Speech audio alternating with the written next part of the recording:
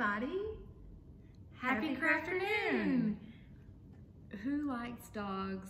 I love dogs. Me too, especially red dogs, dogs that are larger than life, like Clifford.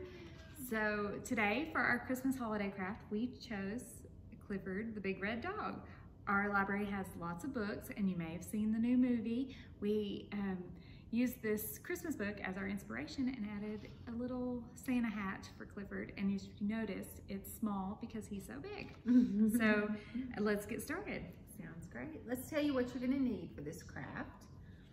Uh, Paper plate, Yes, and white cardstock. Paper plate's gonna make his uh, face, his sweet little face, big face. Mhm. And um, cardstock, um, you'll trace out your ears on this, and you can basically get three ears out of one piece of cardstock. Um, and once you cut them out, they'll look like large teardrops.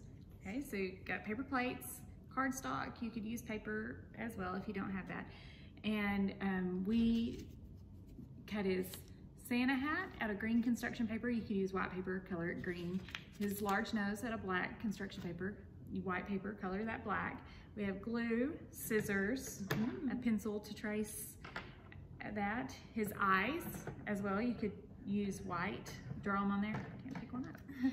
Um, draw one on there and cut it out. Um, and cotton balls to add to the Santa hat, the little fluff.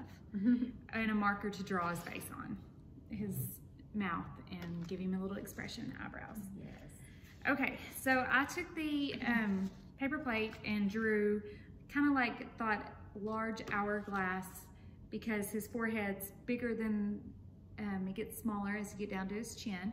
So I'm gonna cut that out and we went ahead and, Yes, we pre-painted our Clifford um, face and ears. So I'm gonna be assembling that while Julie's getting the new face cut out.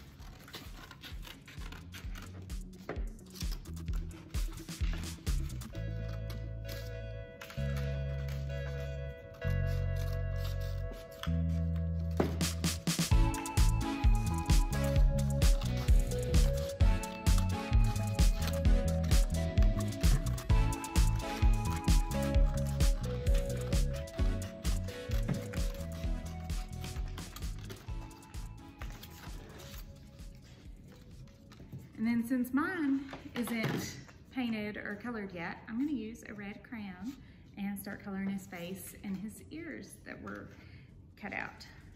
So you can use a crayon, marker, or paint.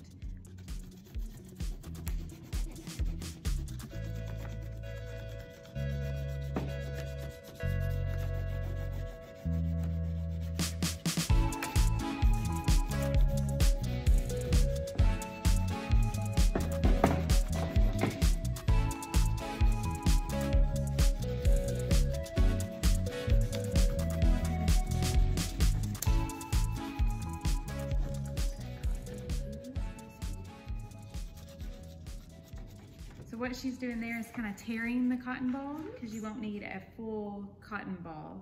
Um, Yes, so just a little piece. One cotton ball will be more than enough for one hat. And we'll see how sticky it gets.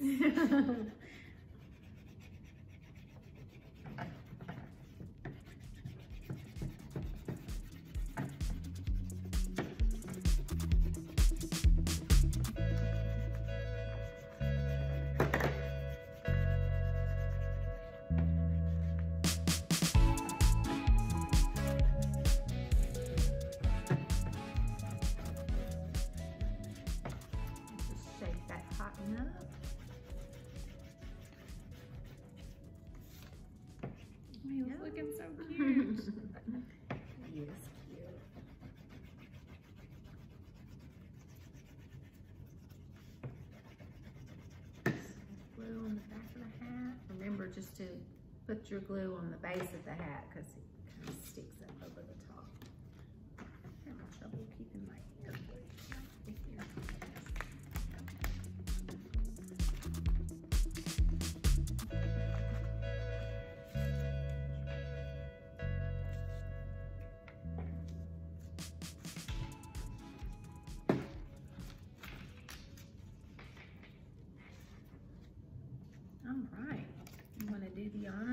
draw his um, expressions and mouth. So he's got one line that goes down from the tip of his nose and kind of curves all the way up like a big smile. Think about a fish hook. And then another one that hooks up. We're gonna draw a little um, expression lines. Mouth lines. Yes, mouth lines. And then he's got some pretty cool eyebrows. So maybe you have a book at home that you can kind of use, but they're kind of sideways M's. Yes. I'll show you what we did. Need a little more glue on the hat. Oh, I got it. Okay. So you see the sideways M's.